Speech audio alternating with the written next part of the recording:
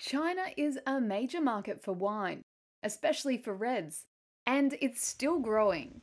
But its own wineries have had to battle an image problem, with buyers wary of their quality against bottles from overseas.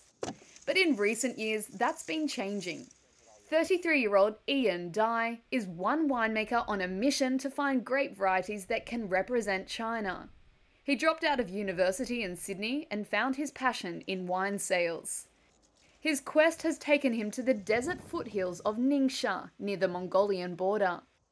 So put it in a romantic way, I want to explore Terroir in China. I want to see, I want to figure out uh, how different region tastes like, feels like. In Spain, they have similar project. There are winemakers who make wine all over Spain. Dai is experimenting with less industrial ways of making wine. He is shying away from changing the taste by adding yeast or adjusting the acidity while the wine ferments. He is proud of his wine brand, Xiaopu. The first batch only sold around 5,000 bottles in 2018 to 2019, but a year later that number jumped to over 20,000. As a winemaker, I should have an ego to make the best wine in this planet one day in the land of China with a great we grow in this land. So I think in 20 or 30 years time, I should make an interesting wine and it's also super good. China's modern day winemaking dates back to the 1980s.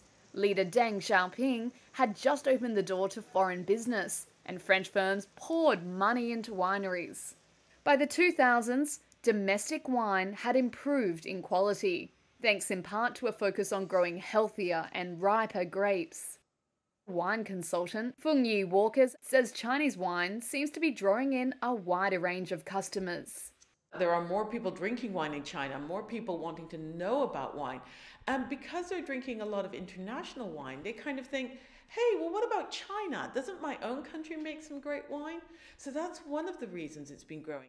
The majority of Chinese wine lovers still reach for reds and as a side effect, wineries often try to craft Bordeaux imitations.